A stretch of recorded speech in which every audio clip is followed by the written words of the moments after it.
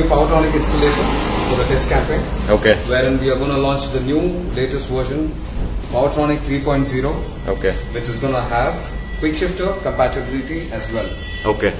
So this is the new harness, which is going to have a map switch as well between the Okay, let me just focus on it.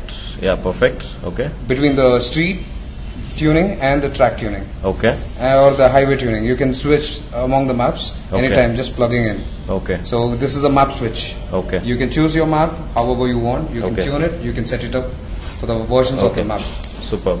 Okay. Yeah. And this line goes to four connections. That is one is the TPS Okay. throttle position sensor Okay. to know your throttle values. Okay. And one go, another goes to the ignition Okay, I'm not sure if we can capture that, but that should be Ignition. Okay. coil. Okay. And the other one goes to the injector, which is Below the throttle. inside. Okay. Yeah. Which is inside. Somewhere there. Okay. And the other one is going to be the crank position sensor. Which is here. Yeah. It's a four pin connector. Just plug and play. Okay. DIY. Anybody can do it. Okay. Easy So to I- install.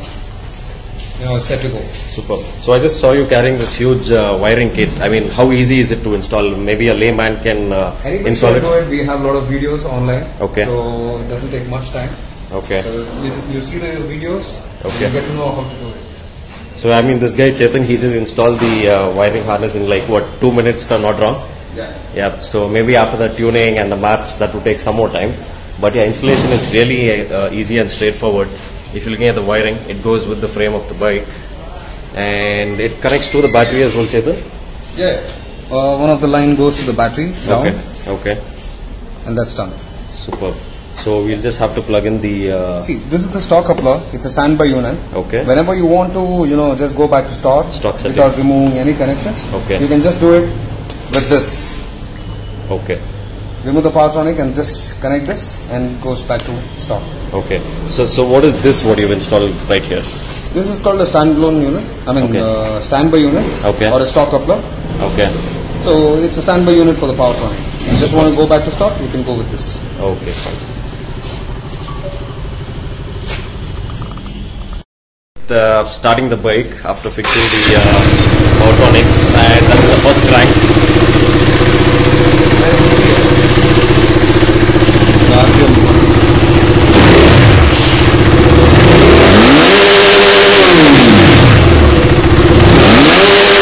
Regular motor is almost hitting 12,000 now. Okay. So that doesn't happen with a stock bike. Stock, it doesn't happen. I'll just get just get you that as well.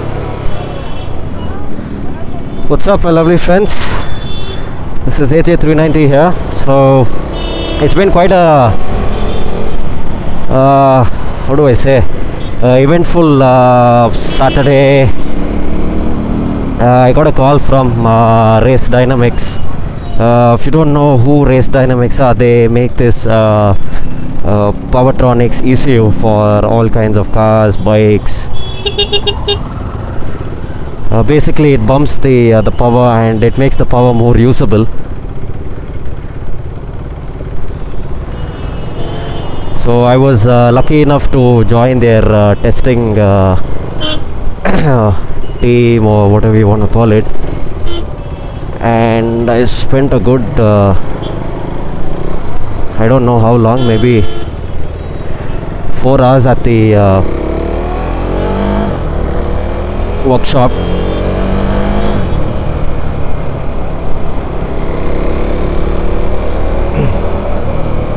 so yeah uh, fixing the uh, the module took about 10 minutes. I mean these guys are experts. He knew which plug was going in whether about uh, uh, five or uh, six plugs.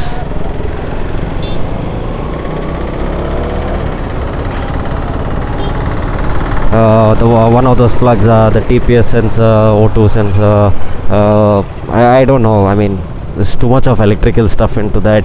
But yeah getting to the point uh, if you want to know how the bike is performing it is uh, how do I tell you? It's the mid-range is more punchier from 4000 to say 7000 rpm uh, it should easily be able to do a power wheelie. It's become a lot lot punchier. And uh, the low revs uh, knocking has disappeared. So basically, uh, to put it in simple terms, it feels like you know the bike is uh, uh, bumped up by say 3 or 4 bhp, which definitely is not, but it just feels like that the way the power is delivered. It's a lot more linear, more usable, and it feels uh, pretty good to ride. Uh, so from Bangalore, we had about uh, uh, five or eight uh, Dukes and RCs they wanted to test out.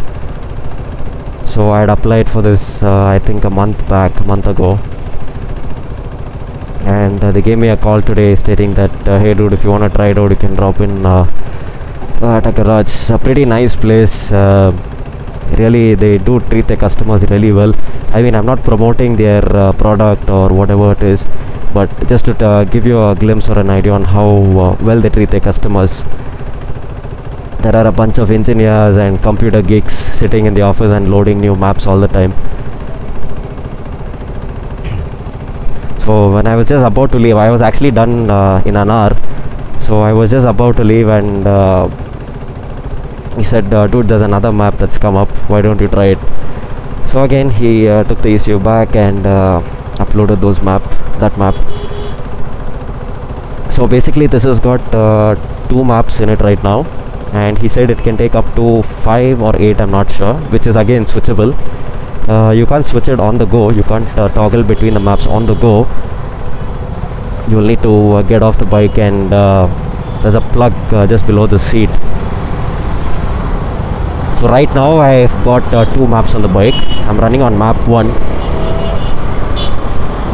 which is a lot punchier. I don't know how well they can tell. I mean it was never possible for me to ride in first gear clutchless in this kind of traffic. It feels really nice. I'm not sure how much the product costs because this is still in uh, uh, testing terms. So let's see.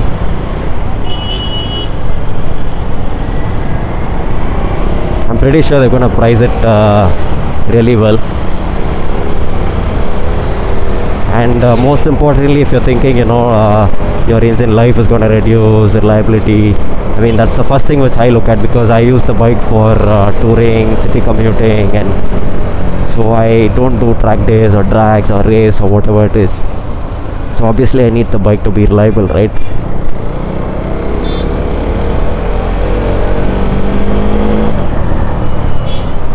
So this is nothing got to do with the engine uh, the only thing that is tweaked a little bit is the uh, the rev limiter is now open.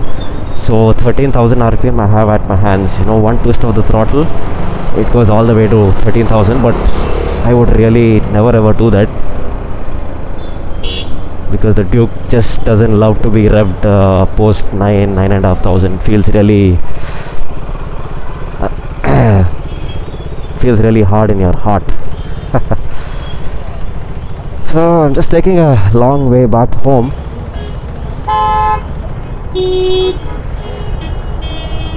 Just want to uh, open the throttle a little more, but a lot of traffic here.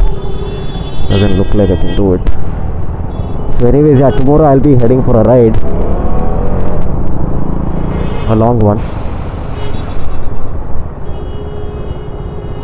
So I should be able to test it out. I mean, there is map 2 as well, but uh, when I tested out the map 2 as soon as he uh, fixed in the uh, Powertronic module, uh, the map 2 felt really, really uh, jerky and it was really bad. There was no. Okay, let me open the throttle a little bit.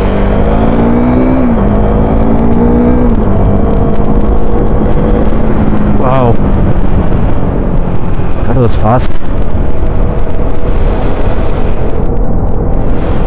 Uh, if you're looking at the uh, the rev limit light coming on, well, that's because I've set the uh, uh, light at uh, 6200 rpm, so I'm not redlining the bike.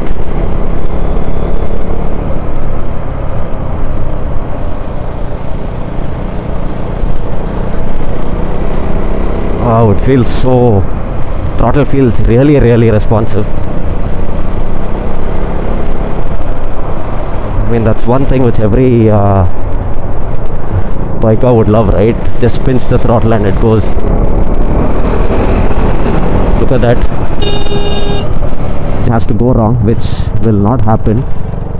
He said if anything has to go wrong he has given me a stock module as well which is again uh, kept below the seat. All I'll have to do is take off the uh, Powertronics uh, ECU and plug in the uh, stock uh, module. I think that's what they call it stock module. I'm not that good with electronics but at least I know how it works and what are the connections given.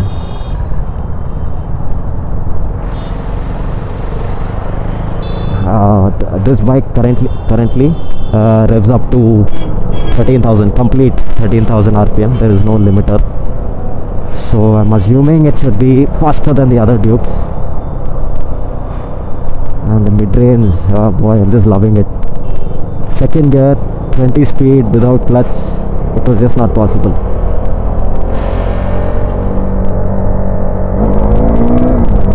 There you go. Almost a power wheelie. I was just not there in the right band.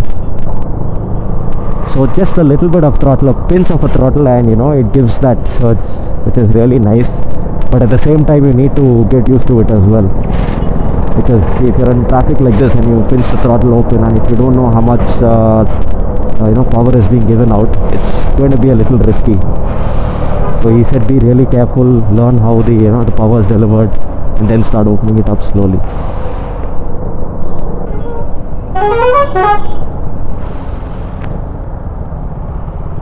Again uh, to sum it up uh, I will end this video here. And to sum it up in one line all I have to say is it feels like I've got like you know four or five more uh, extra horses under my ass. That's how it feels. So hopefully I get to ride uh, tomorrow on the open highways to see how well this thing performs and uh, maybe post a complete detailed uh, review. So as of now I'll make a move and thank you for watching guys.